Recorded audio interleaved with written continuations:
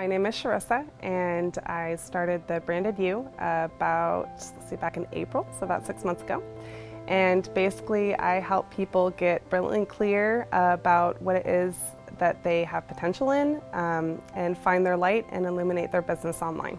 I must have clicked on something online, either on Facebook or on YouTube or something or other, and one thing rolled on to the next to, to, another and a window popped up and I watched one of Nick's videos and I thought, oh wow, you know, this is really charismatic and he seems so nice, like no offense, but it's a little weird or a little rare to have like guys seem so personable.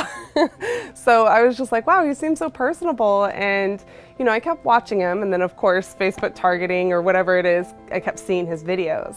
So I remember him talking about uh, the the board break and the walking on the glass and how transformational this is going to be. And at that time in my life, I was looking for something that was different in my life, something that was going to sort of push and shove me into a new direction that was different than what I was doing. I just felt like there had to be something more to life and there had to be a different way to be to do business. And at that time I was pretty heavily involved in our family business and we were getting pretty much run down. After 10 years, all of us were literally losing our flame.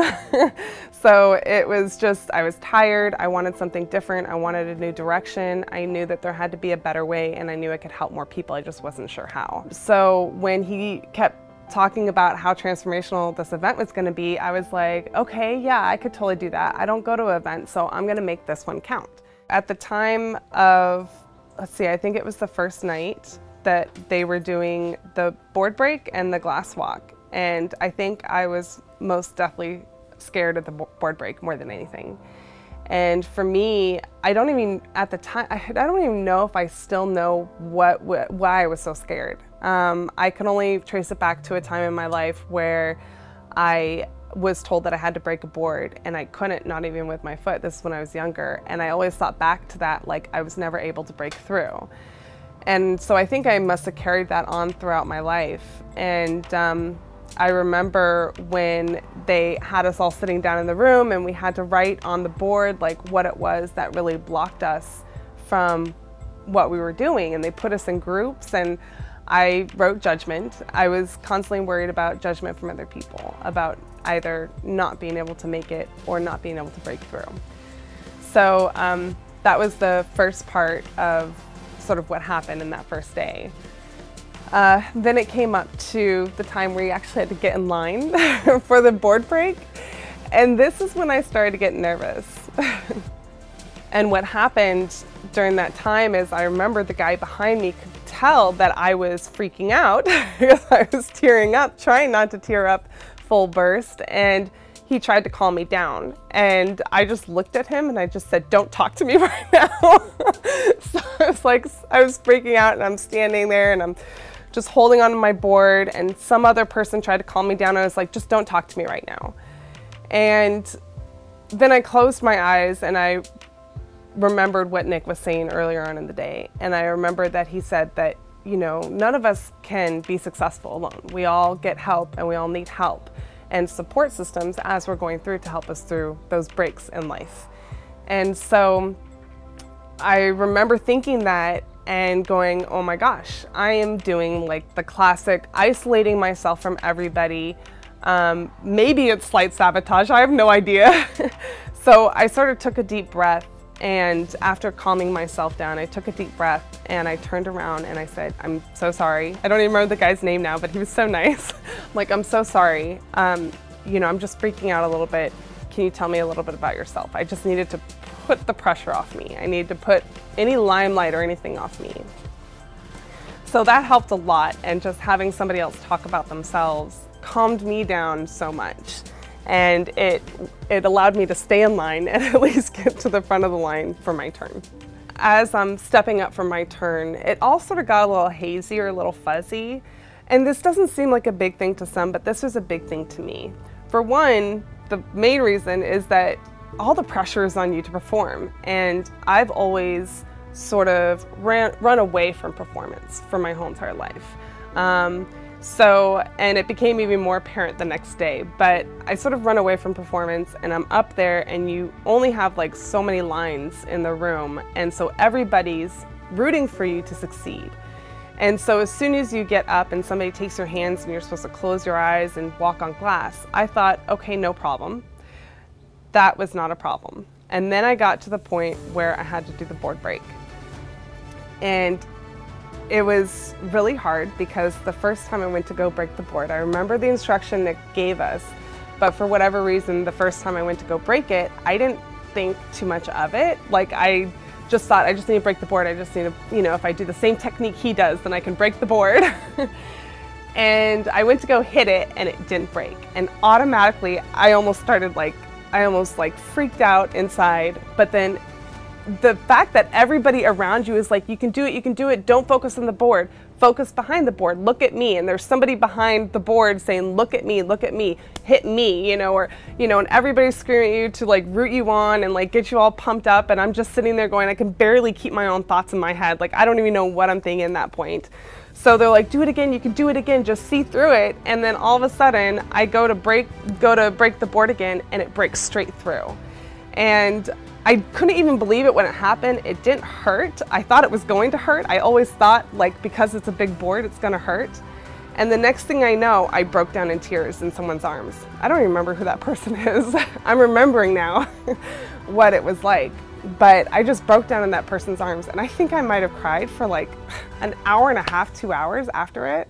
Like the thing on my board was judgment and the fact that I was able to break through it or and have that support meant that it was the first step in my transformation. And it meant so much to me. And it meant that everything that I had going on in my life, every block that had come up in my life, that I was focusing on the wrong things. I was focusing on the board and I wasn't focusing on what the potential was on the other side. And the fact that I could break through it and see the potential, see the ending, was a huge emotional release for me. And what was really interesting is um, I'm sort of really scared, or I was, really scared of being on stage or having too much attention on me. And I think I've pretty much avoided that amount of attention for my entire life. But on the second day of uh, Nick's event, uh, I think he, it was the second day he had the hot seat. And I had signed up for it for the hot seat, but I just didn't expect anything to come of it because I didn't fill anything out.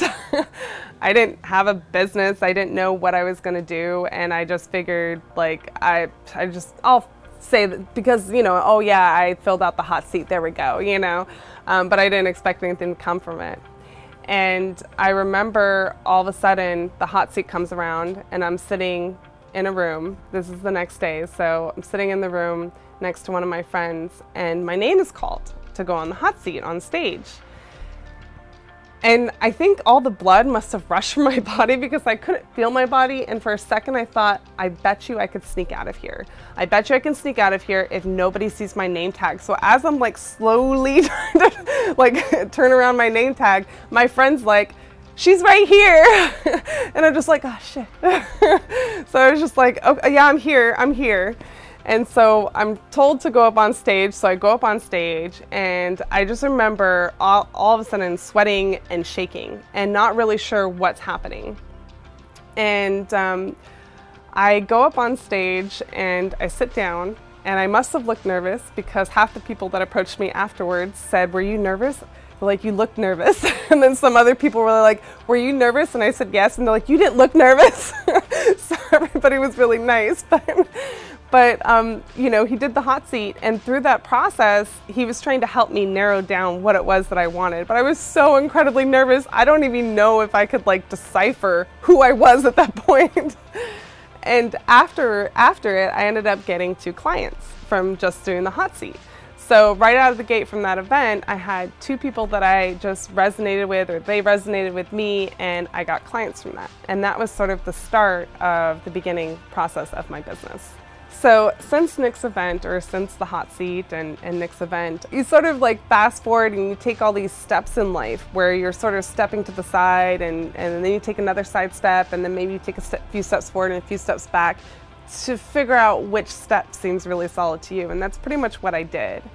Uh, jump forward, I think, into April, I realized that I loved building websites. And it wasn't so much about websites in general, it was about the creative process that it allowed me to connect with entrepreneurs and small businesses. There was sort of this niche thing that I could do, which is basically get into the nitty gritty of someone's business um, by helping them with something very practical.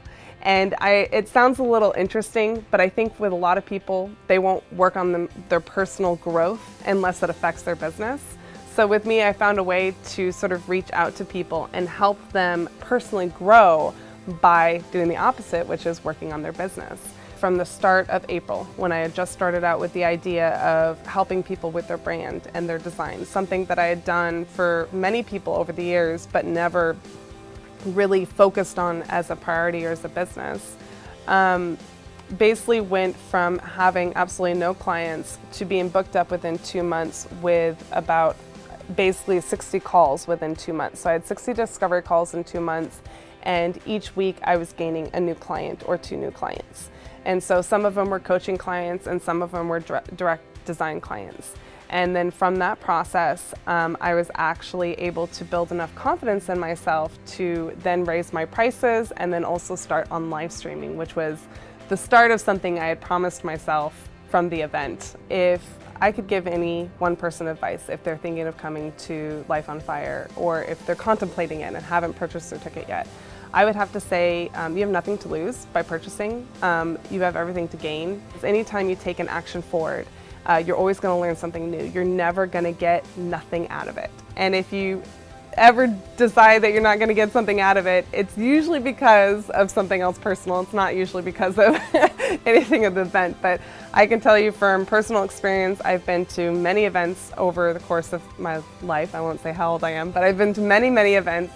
And I would have to say Nick's is the most transformational event that I've ever been to. Um, mainly because it all started with the decision. It started with multiple decisions of deciding that I was going to go no matter what, that it was a priority, that I was going to make myself a priority, that I was going to make my business and my life priority, that my trajectory of the new life that I wanted to set up for myself was that important. So if anybody else is feeling like something is really important, something needs to happen, something different needs to happen in their life, then you need to make a decision to go to the Life on Fire event because you won't regret it.